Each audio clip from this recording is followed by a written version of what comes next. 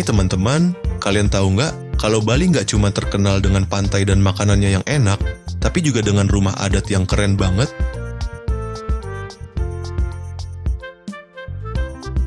Yuk, kita jalan-jalan ke Bali dan kenalan sama rumah-rumah adat di sana. Setiap rumah di Bali punya cerita dan filosofi yang dalam. Siap-siap untuk petualangan budaya yang seru.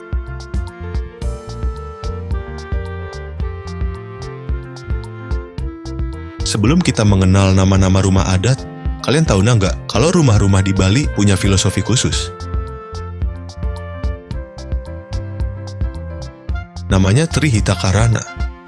Trihita Karana artinya harmoni atau keseimbangan antara manusia dengan manusia, manusia dengan alam, dan manusia dengan Tuhan. Wah, hebat banget kan? Filosofi ini membantu menjaga kehidupan di Bali tetap damai dan harmonis.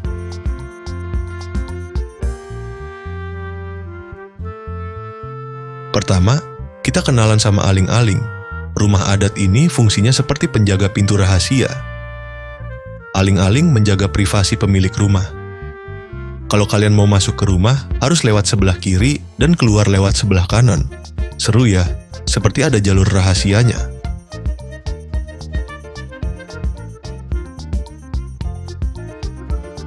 Selanjutnya ada angkul-angkul. Ini adalah pintu masuk rumah di Bali. Kalau kalian pernah lihat bangunan yang mirip seperti gapura di depan rumah-rumah di Bali, itulah angkul-angkul. Dulu atapnya terbuat dari rumput kering, tapi sekarang banyak yang sudah pakai genteng.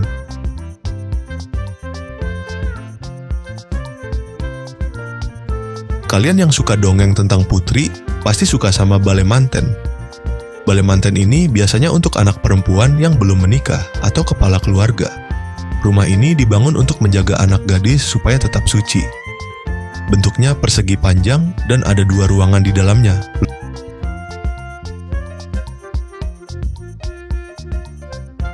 Nah, kalau balai dauh adalah rumah untuk anak laki-laki remaja. Selain tempat tidur, balai dauh juga digunakan untuk menerima tamu.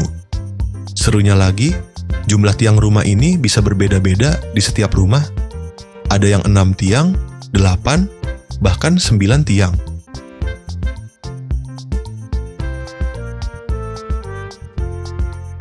Rumah adat berikutnya bernama Klumpu Jineng.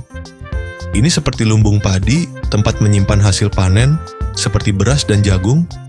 Uniknya, rumah ini berbentuk panggung dan ditutup dengan jerami di bagian atap dan dindingnya. Bayangkan seperti rumah pohon, tapi untuk menyimpan makanan.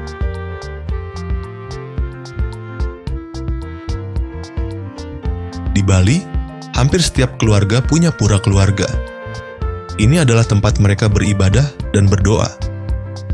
Letaknya di timur laut rumah, ini tempat yang sangat suci bagi masyarakat Bali dan menjadi bagian penting dari kehidupan sehari-hari mereka.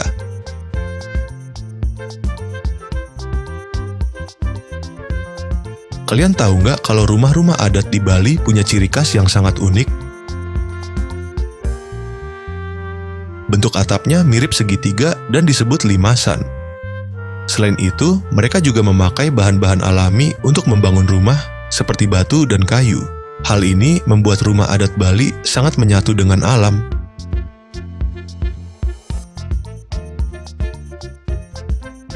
Oh iya, di Bali juga ada peraturan yang mengatur bagaimana rumah-rumah adat dibangun. Semua harus sesuai dengan aturan tradisional yang disebut Asta Kosala Kosali.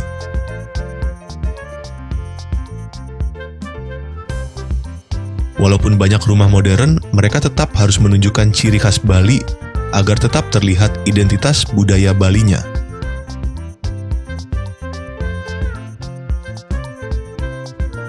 Seru banget ya belajar tentang rumah adat Bali. Ternyata rumah-rumah di sana bukan cuma tempat tinggal, tapi juga punya banyak makna yang mendalam.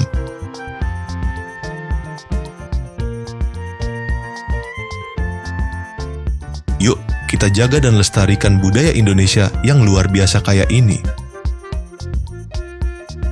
Sampai jumpa di petualangan budaya berikutnya, teman-teman.